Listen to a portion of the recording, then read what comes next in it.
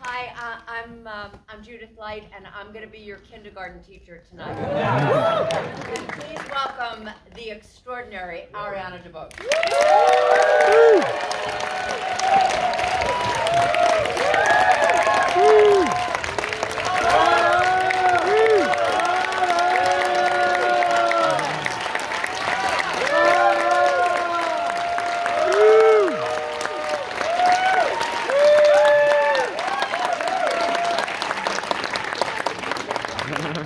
Oh, wow.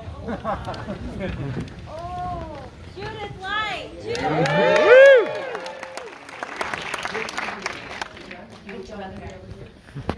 No, I don't. Just sit right here. Just got to be on your best side, right? Oh, Um, wow. Thank you guys for coming and thank you for staying. Oh my gosh. so Yes, fun. absolutely. And thank you for your performance.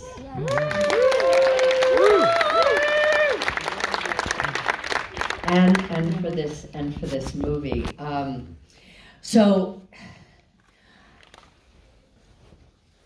we've known each other quite a long time. And um, I've seen her do just about everything. This really took my breath away on a, a lot of different levels. And I believe Variety said um, that she is a radiant force of nature.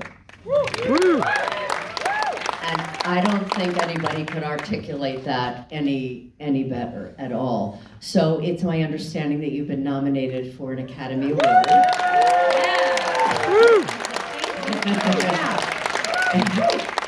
and for uh, SAG Award, NAACP Award, Critics' Choice Award, uh, and you received a Golden Globe.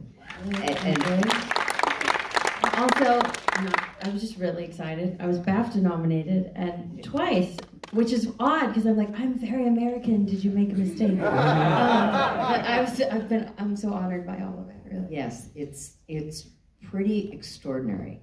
And what I, a couple things, um, you know, there's the standard stuff that you have to ask, and one of the one of the standard things is, where were you when you found out? Who told you, and how did you feel? Oh, okay. Um, On any of them, you could talk about the Oscar. You could talk about any of them. Okay. Um, well, when I found out I won a Golden Globe, I was at my home in gym clothes, and that was honestly the most comfortable way to um, win an award. um, the SAG nomination was actually a very cool week. I was hosting Saturday Night Live. Uh, thank you. You all see her do that. It was so fun. That was brill- be- beyond. It was so fun and so wild and terrifying. Um, What was terrifying about it? Because it, in my brain, I was like, these people, they do this every week. They are so great at sketch comedy. And I don't know if there are moments where I'm just like, I'm not that funny.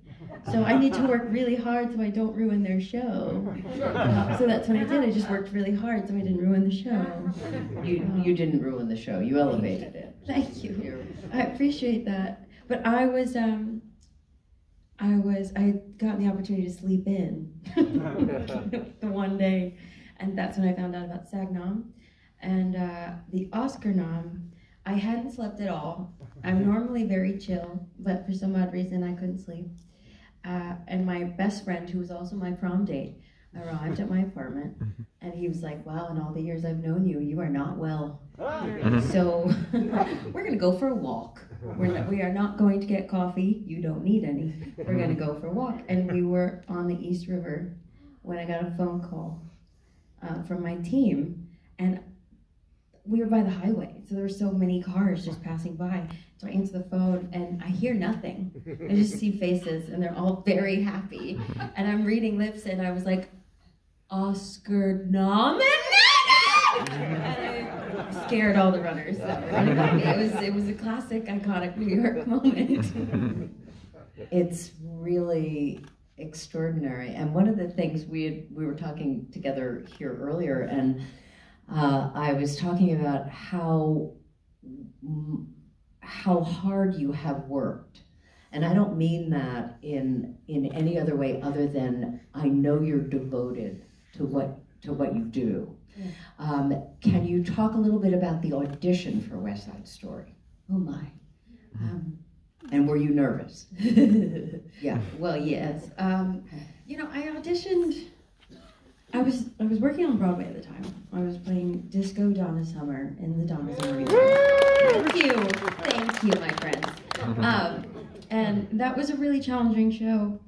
Uh, it was really like my first foray in I know. being a leading lady. You saw it. She she comes to most things that I'm in. It makes me really happy. Um, and uh, Cindy Tolan called one night and asked me if I'd come in the next day at like 10:30. Mind you, this is after the show. And I was like, okay, well, where am I going? She's like, Brooklyn. And I was like, Cindy, Brooklyn? um, and then she was like, okay, but just come and you'll sing and dance and then you'll read. And so I took one look at the sides and I called her back and I was like, mm, please don't make me do that. Because Why? Why were well? Tony Kushner adapted our screenplay from the original author Laurents text, and And m- most of you would know Tony a lot from his theater stuff, Angels, in, Angels America. America, Yeah. which changed my life. Like I Yeah. am such a devotee of the Kushner, and I took one look at those sides and they were expanded. Like it's not. It was nothing I'd ever read in regards to West Side Story. It was very wordy, and I was like, "There's no way in the world I'm gonna be prepared for this." And I was just like, "I'm a woman of color. I can't walk in and just wing it. Like that's not what we're doing here." Mm-hmm. And on the off chance that Steven Spielberg sees my tape, I would like it to be good. So I just said, I was like, I would really love to sing and dance for you tomorrow, but I would really like to, if you're interested in what I do, I'd love to just come back. She was like, Don't worry about it, I got you. Just come, just come. So I got there that day. Oi, it's not done. Like, ah. oi, oi, that was the beginning. Just, just, just come. We'll, Just we'll come. fix it. It'll be fine. I'll, I'll fix it. I'll fix it. I'll fix it. Okay, so I get there, I'm warming up. I made it to Brooklyn, thank God. And I get there, and everybody's really on edge. And there are lots of jets and sharks, and a few women who I recognize, and they're auditioning for Anita, da da da da da. So I learned the dance, la la la la. Justin Peck is amazing and incredible, and of the dance world, and like I, I just was such a fan already um, learn the choreography, and then we go into the room to like show it off to what I just assume is, you know, camera, an accompanist. Eh, how about no? How about all the producers and Steven Spielberg? Sound like a good idea? Um, and I was, And you didn't know that until you nope, walked into not the room. a clue. Oh my word. it was like the craziest, what cold read scenario sort of thing. Dance, cold dance. Um, my version of a cold dance. And I was like, ooh, I literally said I wasn't gonna read today. Am I gonna stick with to that choice? And I said, you know what, Ariana, you are. So I went in and I danced, and he liked the way I danced. And he said, okay, would you sing? And I was like, I'd love to sing for you. And so I sang. What did you sing? Um, I had to do a portion of America, and Tony Kushner was my Bernardo because there were no Bernardos present that day. Um, so that was fun. Um, and and then he said, "I love the way you sing. Oh my gosh, where did you come from?" And I was like, "Broadway." and um, Many shows many, many, many shows. Very, very, very blessed. Uh, six Broadway credits to my name at the time. And uh, yeah, it was really great. I think Teddy Brunetti's here somewhere. He was in, we did a Bronx Tale together. Hi, my man. Thank you for being here. Love you.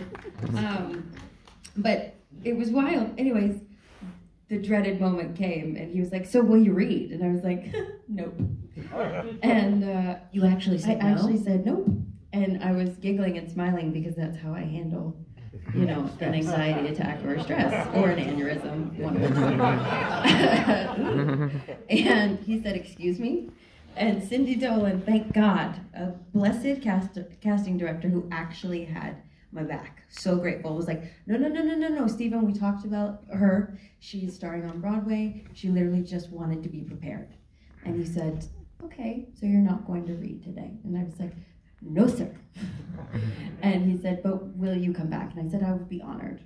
And so the next week, he brought me back, and that led to a secondary callback. And then I got the job while I was sitting in a nail salon, and that was pretty iconic. You were, you are in very unusual places when you hear good news. the highway. You were, you were having your nails done? I was. I was having um, my gels removed because I felt like I, I had done the matinee and I felt like there was a lady in the front row who did nothing but stare at my undone nails the entire time. And I was like, I will not be shamed. One more show. And, and did was it who was it Steven that called you? Well, I, I saw with foils because when you get gels removed, you got foils on your nails. Um, so I was sitting there and I was like, that's an 818 number. Excuse me, ma'am, can you help me answer this phone call. I think we should take this.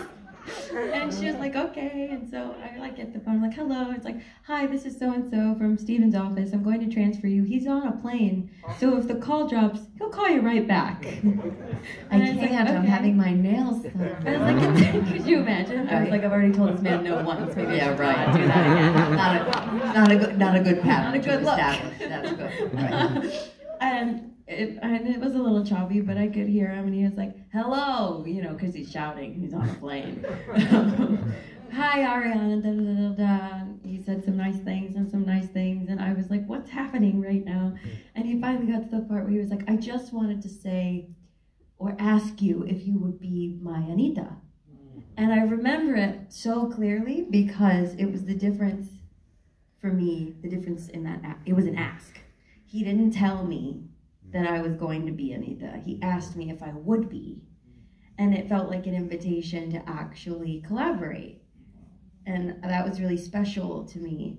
I also, I didn't mention this part of the story, but in that first like um, audition where I said no, before I left the room, he asked me if there was anything else that I wanted to share about the material or my thoughts or anything. And I said, you know, there's just one thing. I was like, well, I'm Afro Latina. I'm a black woman. So if you are considering me for this part, you should also know that I would be the darkest skinned woman to do this on screen.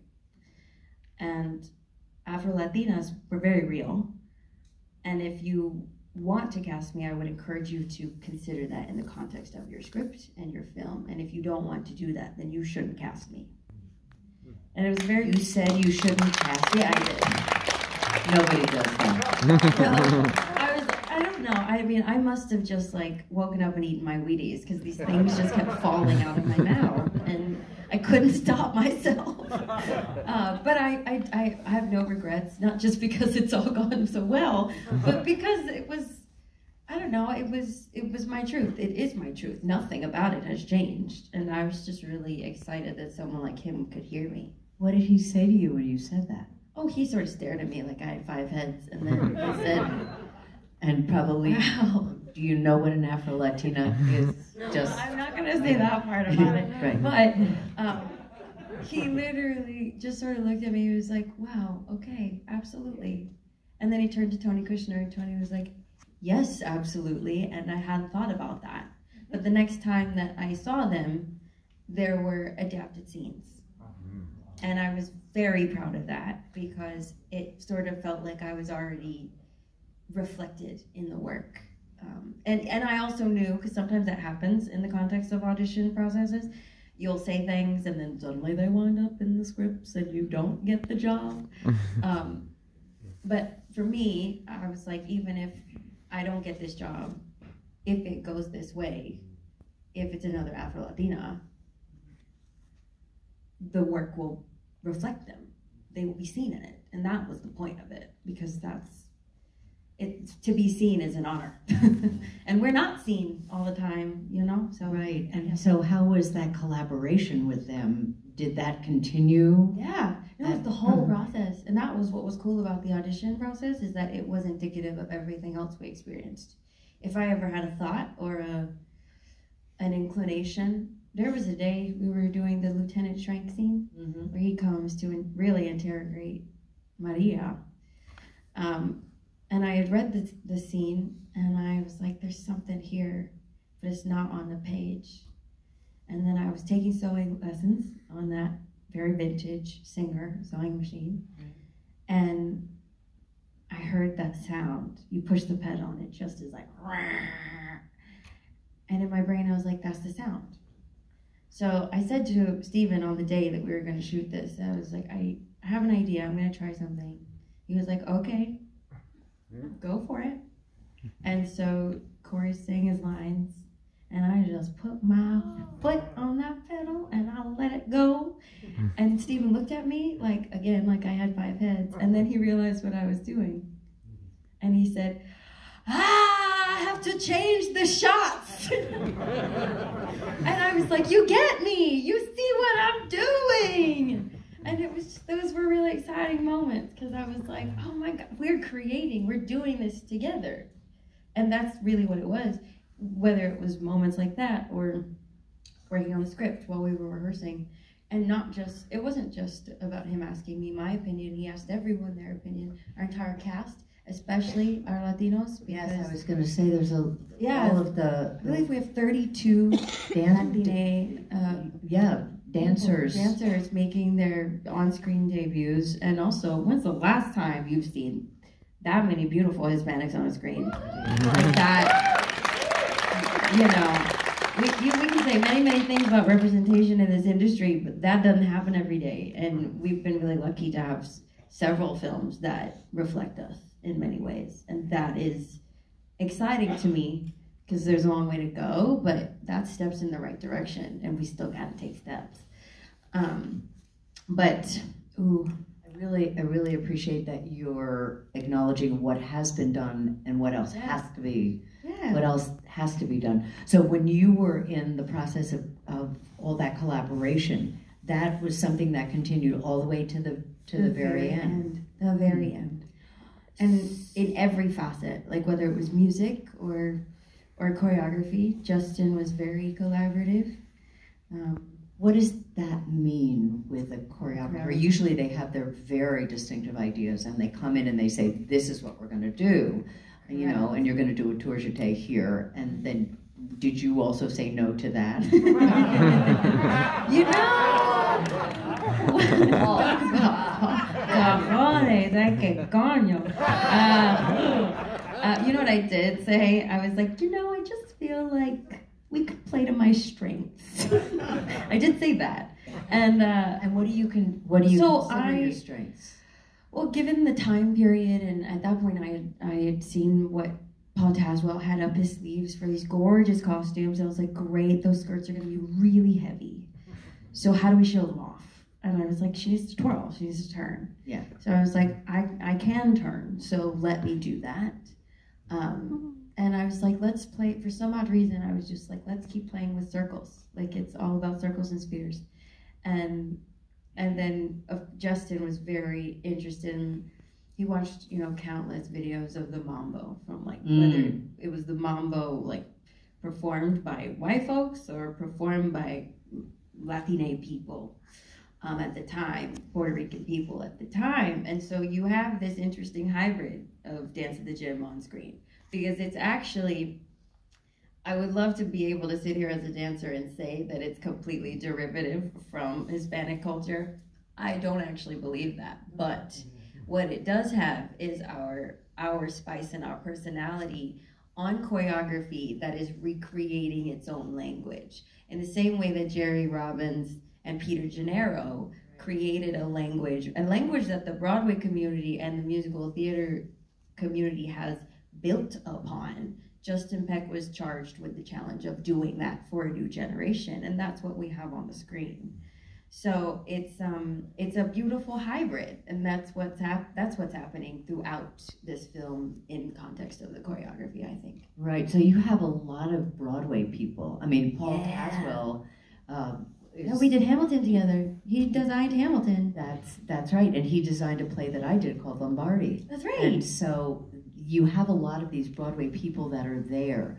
Did that feel comforting to you? Did that feel like you were with your people? I mean, you've done so many Broadway shows. I mean, since 2011. I mean, you're you have this sort of your own particular legacy. And here you have all of these other people who are come from another aspect of your work. just talk a little bit about that, about how you were surrounded by other people from Broadway as well. You know, all of your dancers and Yeah. so. So No, it what- felt like home. You know, it felt like home. Yes, we were making a major studio film, right. but it was honestly like going to theater camp every day. Mm-hmm. You know, but my camp counselors were Steven Spielberg and Tony Kushner. You know, so but it was it was oddly really comforting, and it's something I'm super excited about because it's not every day that theater talent is given the opportunity to work on screen in this right. way. It's really really rare. I Mhm. I have started talking about it because who knew I'd have an opinion on anything. But, um, I don't feel like Hollywood's been in the business of making stars. Say more about that. Well, I mean, if you look at old Hollywood, Right. there was a time where these studios, like Judy Garland, was not a name until she was a name. Like there's like Fred Astaire was not a name until he was made a name, and I feel like there was a time when, well, I'm gonna say something else. There was a time where you weren't working in Hollywood if you were not a triple threat. If you couldn't sing, dance, and act at the same time, you weren't getting a job. And yes, that's yeah, 1950s. And thank you for clapping because I do appreciate that. but it's um, it's been interesting. When I got to New York, um, for me, You mean from North Carolina? from North Carolina. Yeah, I moved when I was 19 from North Carolina. And when I got there, it's not that triple threats were dying out, but we were not the the ask. We were not the commodity. We the park and bark was prevailing, to be perfectly frank. Right.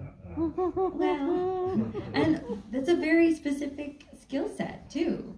But being asked to sing and dance at the same time was not what was being asked of folks. And if you did have that skill set, you were in the ensemble or you were the understudy. And there's nothing wrong with that. Absolutely nothing wrong with that. It just meant that when I first got there, you weren't really given the opportunity to audition to be a leading lady. And I realized that very quickly. But I also And how did you relate to that? well, I mean, What, how did you how did you get yourself to a different place? How did you how did you hold that? How did you deal with that emotionally? Because that's tough. Is. I don't. I mean, Not being seen. I mean, what you've been talking a lot about is about being seen, and you're saying you weren't being seen. oh no, I didn't feel seen. I, I, when I got there, I was very lucky. My first job was with Andy Blankenbuehler, and he gave me a really great opportunity to play, to create a character for a musical that did sing, dance, and act. She had great step out moments. It was a really wonderful learning experience. But then from that moment, or after that moment, it took me another six or seven years before I could really change casting directors' minds about my talent because I was only offered an audition for roles that were like featured roles, but you were in the ensemble, carrying the ensemble in specifically dance based shows. It was actually very hard for me to get an audition for anything that was not dance based.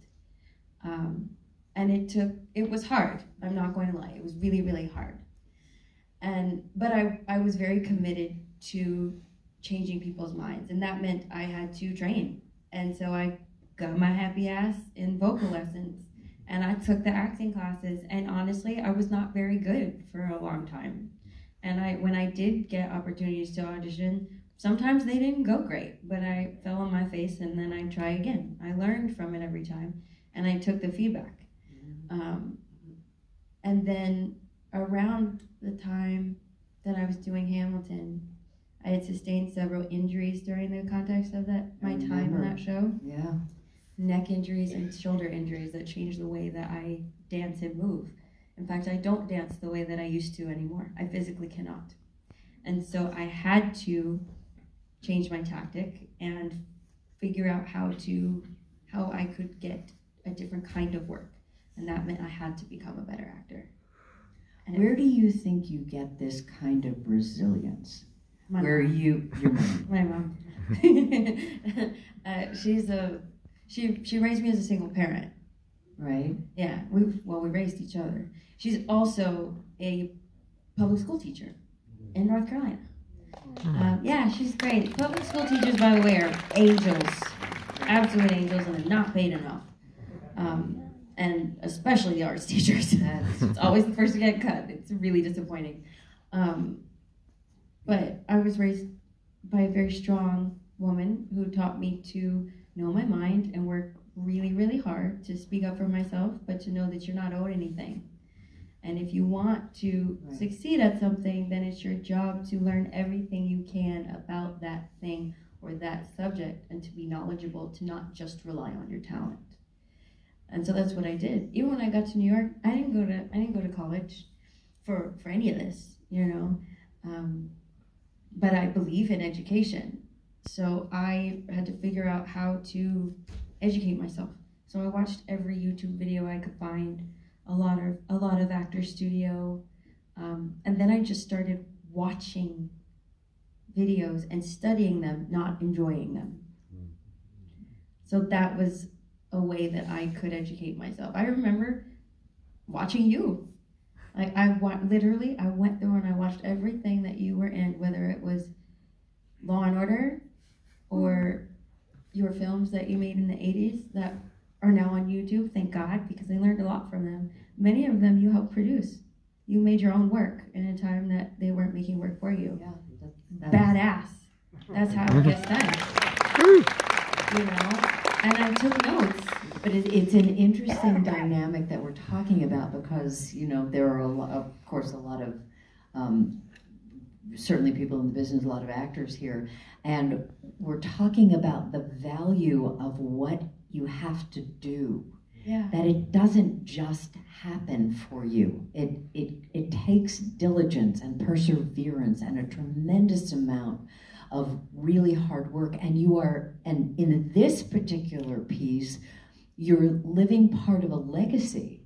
I mean, you're with Rita Moreno, and then you're following in the footsteps of all these other Marias. Yeah. I mean, uh, sorry, uh, Anita's. Your and them. so, in creating your own Anita, how do you, how do you take this resilience that you have and this understanding, and be the triple threat that you are in this movie, in that in that way?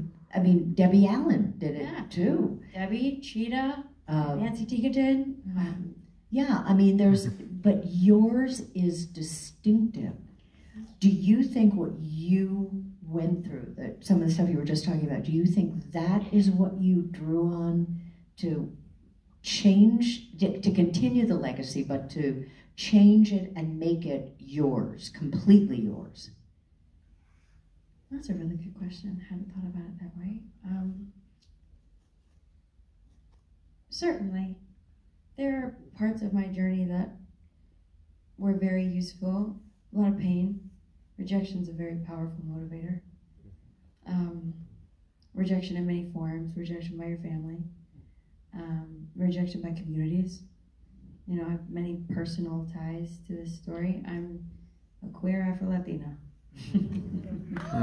So that has its own implications. Thank you. But I'm I'm out and proud and have been for a very long time. And but I also am someone who grew up. Uh, you know, my mother's white, and I was raised by the white side of my family. And when you are the only person who looks like this in your community, you you you don't see yourself reflected, and sometimes you don't feel like you have allies, and you will never be white enough. In certain circles, I'm still not black enough. That's a real lived experience that I have. And I'm, you know, Latin enough? I mean, I think so now. I will tell you this though, when I, um, But you know what I mean. Yes, it's of like, course. That, is No, there there is there seeing happening? yes, Yeah. abs- absolutely. The shit of it is, pardon my French. when I was a kid, because I didn't have access to my culture, I didn't. I in I just. I wrote this story in my head that that the Hispanic community didn't want me. Literally, because I I, I didn't speak Spanish growing up, and where I did, I grew up in a river town, um, New Bern, North Carolina, and we had many immigrant communities that formed there, but they predominantly spoke Spanish, and because I didn't speak Spanish, I couldn't find ways to connect with them, and I was also having trouble connecting with with other kids.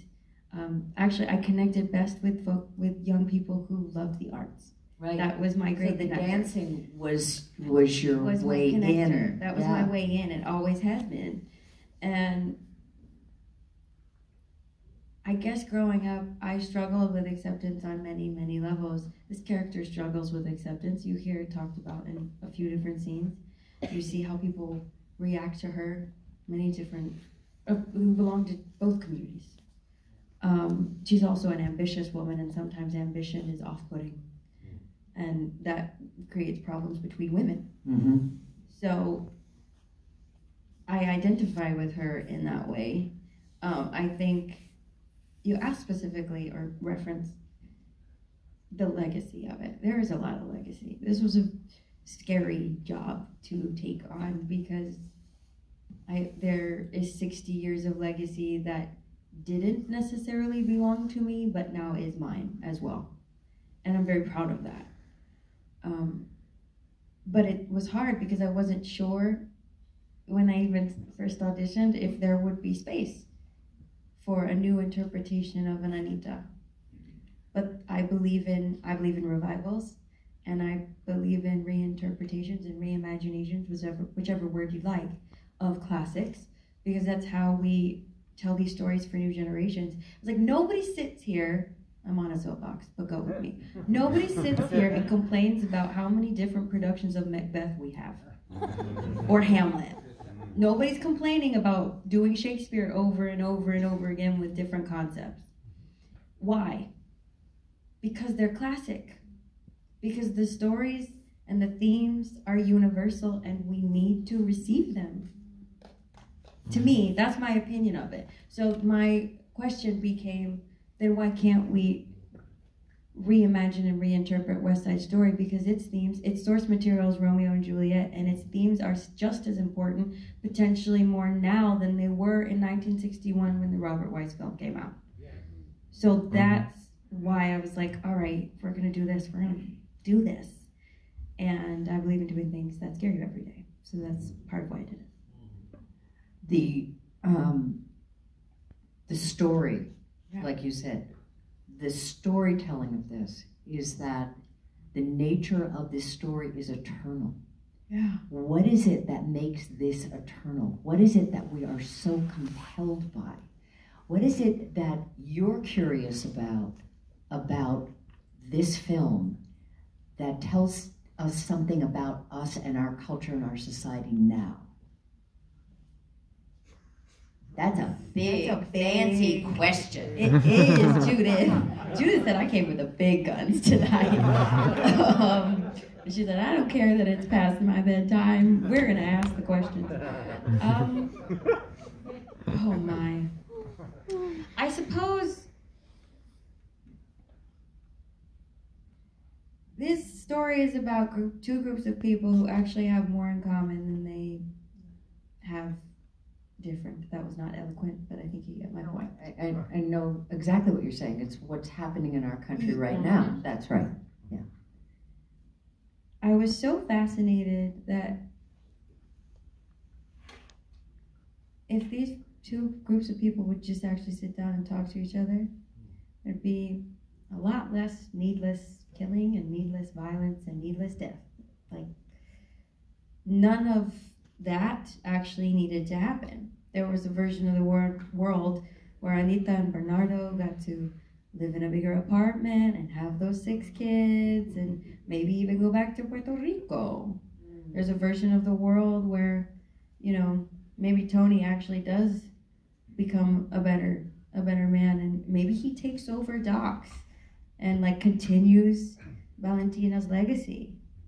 Things could have been a lot different if we just talked. We don't talk in this country anymore. And when we do talk, it's typically just to hear ourselves speak and not actually receive. and you see some of these characters doing the same thing. Yeah. Um, I think in regards to Anita, I was really curious about her expressions of grief because I think, especially, well, women in general and women of color especially are thought to be strong. And strength is a beautiful thing. But sometimes strength comes through in wild emotion. And just because you cry, it doesn't mean that you're weak. And I didn't actually feel in any incarnation of West Side Story I'd ever seen that the full breadth of Anita's grief was actually explored. And I wanted, if I was going to do it, I wanted it to be hideous and really hard to watch. And at least for me, I don't actually like to watch it. Um, but I'm very proud of it because I think women really go through that. Yeah. Do you think you'll ever feel comfortable watching it? No, Okay, good. That's good. I'm glad. no, I, I, I didn't make it to watch it. I made it for other people to watch it and think Well, about and it. they, and they, and they obviously did and, and loved it. Um, just talk a little bit about your relationship with Rita Moreno. Oh, Hmm. you know, I'm so grateful to her. She opened just by being, by being who she is. She's opened so many doors for so many of us. Um, we had a rocky start because I was just a ball of anxiety, and quite frankly, I didn't really know what to say. um, but she was really graceful with me, and this is gonna sound odd, but she didn't impede my process in any way. Like she was always available and really supportive, and she'd make me laugh if she thought I was being too serious. um, but she let me have a process, and I think sometimes that's not what happens when someone has such ownership over a character. I mean, I actually don't know if any if there are two actresses who have ever really gone through a process like this. Like I, I think it's probably extremely rare that you have two Anitas on the same set. Um, I know it was challenging for her. It was challenging for me in mm. different ways, just because I just so badly. I mean, I enjoy being liked. I would prefer being liked just to mm-hmm. not. Um, mm-hmm. but I, I love her. I admire her. I really wanted her to like what I was doing, but I also knew that if she didn't, it wasn't going to impact the work because the work's the work. And I'm, what I can tell you is that we have the greatest relationship because she supported me and allowed me to thrive. And we and she thrived on our set and we did it side by side. There was never I'm gonna stand in front of you or get get in the way. It was really she became a partner and a colleague. And that was really nice because I can tell you something else. That's not what happens sometimes in generational relationships. So That's, that's right. And her grace and your grace made all of that possible. I mean, we're talking about so many different aspects of this film while we're also talking about so many aspects of you. And I just want to go back for a minute and just touch on the stuff that you and I both have a, um, a long history of our advocacy for the LGBTQIA plus community.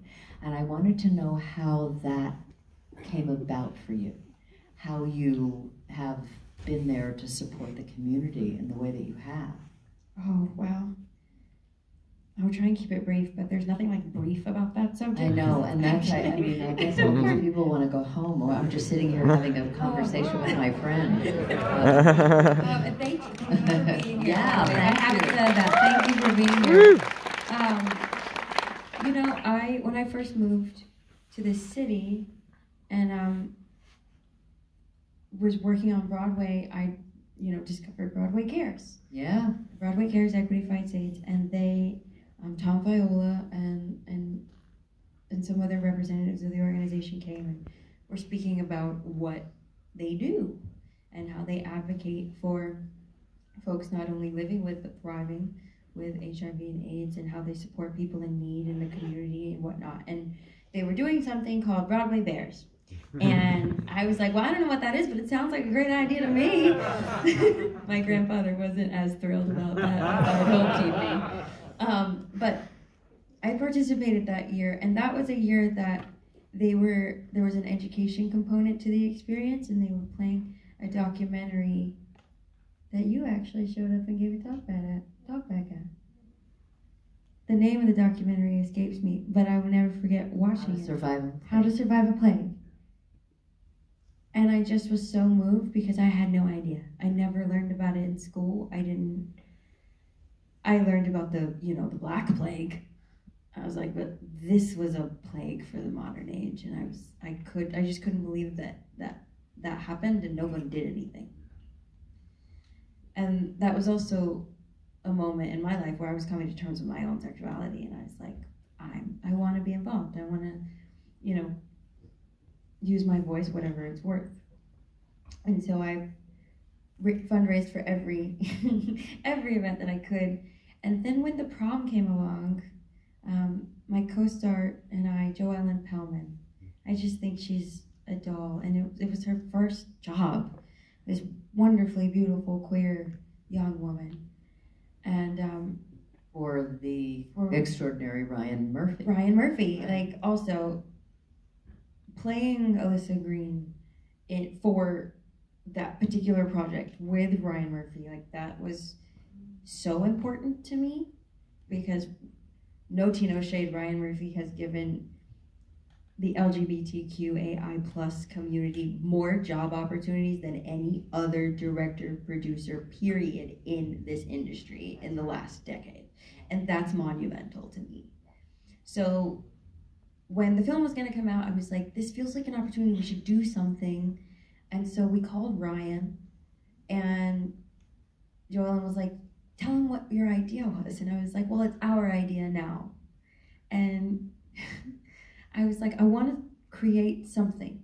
Like, we want to do like a website or something that connects young people or anybody who watches our film to organizations that can help them along their journey with identity. This isn't about recreating the wheel because these these orgs are doing it already, and not both of us agreed. Neither one of us really knew they existed when we were growing up. So that's why we created the Unruly Hearts Initiative. And in our first year, it's a great website. You should check it out. The Unru- Unruly Hearts Initiative.org. Um, and uh, we raise money when we can. Uh, in our first year, for these organizations, our 2021 partners were Point Foundation, Covenant House, and Trevor Project. Um, and as we've seen, especially in the last six months, you know, suicide rates are going up. So if, if you can't support the Trevor Project, please consider doing so. Um, but in our first year, we raised $140,000. Well, in Covenant House, you've got the kids on the street. Yeah, sexually trafficked and, Yeah. and homeless youth. Um, so we're, we're trying to help help young people in any way that we can. Housing solutions, um, uh, higher education access, and um, From Point Foundation. from Point Foundation, Yeah. As you can see, um, Point Foundation, and then Trevor Project Suicide Prevention. Um, but there are many, many organizations that are highlighted on the website, and you can find anything you need for parents as well, because that's important too. Yeah, your your devotion to that, your dedication, your perseverance toward the things that you are of service about is every bit as powerful as your dedication and your perseverance to your work. Now, you bet, you bet, you have other work that you've done since this. Can you just give everybody a little taste of what that is? Yeah, well, um, you know what's odd? Just like a point of order. I made West Side Story, and then I made The Prom, and then I made Schmigadoon. And and if you haven't seen Schmigadoon, it's cute. Um, but kid you not, both those projects came out before West Side Story. Wild. Um, but I I had the opportunity to make a really cool six-hander. It's a, uh sci-fi thriller directed by Gabriela Cowperthwaite called ISS. Um, we, we shot it during the pandemic. um, in Wilmington, North Carolina, where I was born. So that was a really cool opportunity. And Gabby's one hell of a filmmaker, I think.